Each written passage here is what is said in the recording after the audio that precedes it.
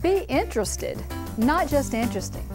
Some people erroneously think that they have few friends or close relationships because they don't lead interesting lives and they don't know how to engage in witty repartee over coffee. But seldom is that the reason for someone's loneliness. The distance goes far deeper than that.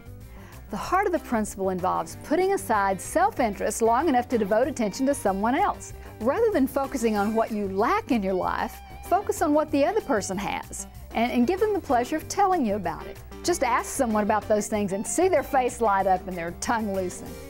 Yes, we are attracted to life of the party people because they amuse us, but interested people win us. To attract other people to you, be interested, not just interesting. This is Dianna Booher encouraging you to communicate with confidence.